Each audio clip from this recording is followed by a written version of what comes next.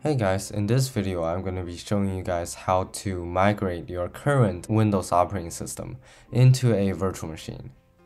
So this may prove useful in the case where you are considering reinstalling Windows on your bare hardware but don't want to lose anything in the current OS, so you migrate it into a virtual environment.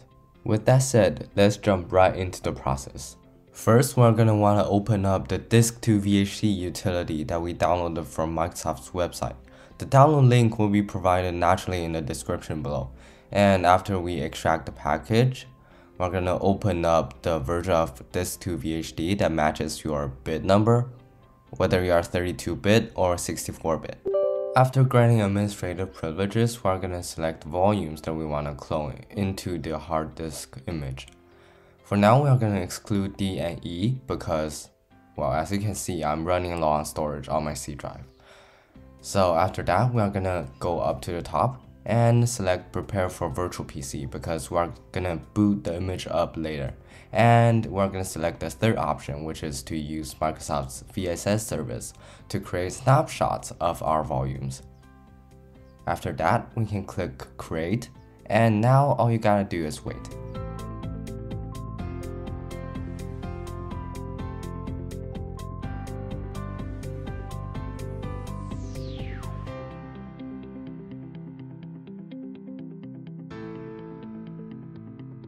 Now that it's done, we can exit out of the utility. And if we go to the disk2VHD folder, we are going to see a disk image file. We're going to move it onto the desktop for ease of access. And now we're going to open up VMware.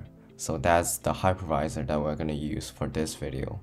Once we're here, we're going to create a new virtual machine. And since we're not going to install any operating system, we're just going to boot from the virtual disk you can honestly skip over these menus if you want. So we'll just go through them by clicking next a couple times.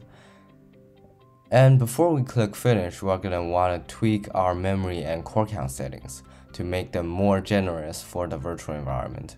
Since we haven't technically finished setting the virtual machine up, there's not going to be an option to add a new virtual disk to the virtual machine right now. So we're going to click finish and after our virtual machine appears on the menu, we can edit the virtual machine settings. And now if we go to add, there's a hard disk option. Just add that using whatever protocol you want.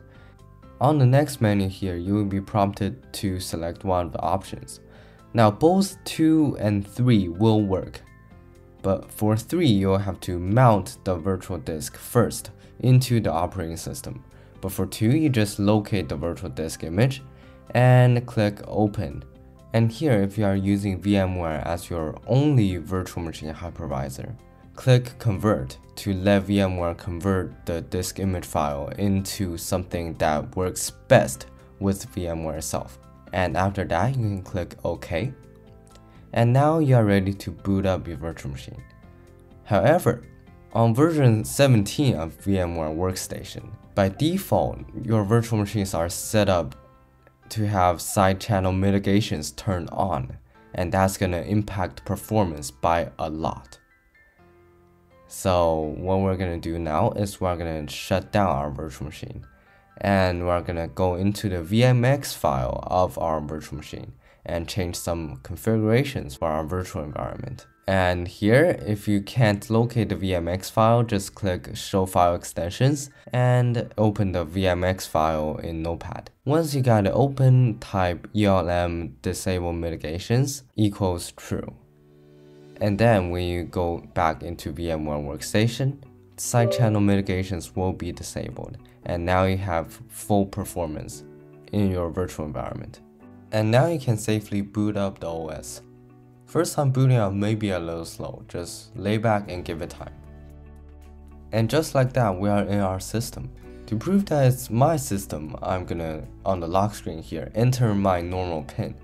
And sure enough, it works. So first thing right off the bat, we are gonna install VMware tools to make the screen resolution bigger. It's currently one fourth of the size of the screen, so I can't read all the prompts clearly, but after we install the tools, it should be just fine.